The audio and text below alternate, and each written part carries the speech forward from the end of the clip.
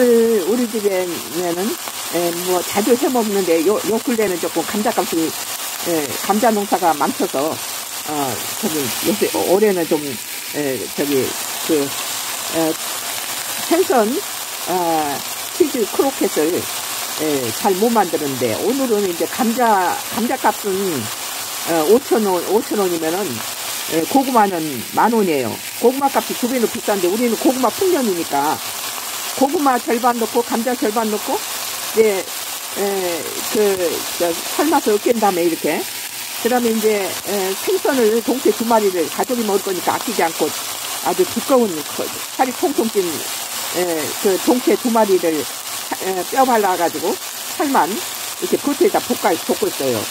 그리고 이 이제 아, 에, 저기 버터 어, 치즈 어, 생선살 치즈 에, 저 크로켓은 에, 크로켓은 에, 양파를 버터에 볶은 게 양파 향기하고 생선 향기 때문에 에, 치즈 크로, 크로켓이 맛있어요. 일반 감자만 넣고 그냥 뭐 적당히 당근 넣어서 만든 크로켓은 모양은 좋을지 몰라도 풍미가 안 나요. 깊은 맛이. 이, 이 크로켓에 에, 집 면목은 양파하고 생선살을 에, 양파를 많이 넣을수록 좋아요. 향기가 많이 나고 에, 생선살을 볶아서 에, 감자하고 고구마 으깬 거에다가 지금 같이 버무리려고 그래요.